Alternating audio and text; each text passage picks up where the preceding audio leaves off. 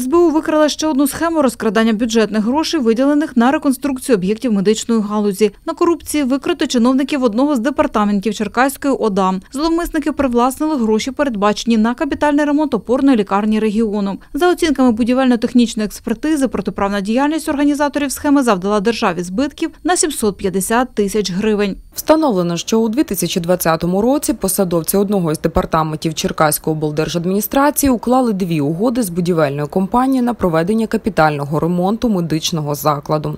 Для реалізації корупційної схеми підрядники вносили до бухгалтерської технічної документації неправдиві відомості про обсяг виконаних робіт і використаних матеріалів. Чиновники ж у змові з комерсантами все ж таки прийняли фіктивні акти та провели оплату робіт у повному обсязі. За матеріалами Служби безпеки України двом посадовцям Черкаської облдержадміністрації повідомлено про підозру за частиною 2 статті 364 та частиною 1 статті 366 Кримінального кодексу України, тобто за зловживання владою або службовим становищем та службове підроблення.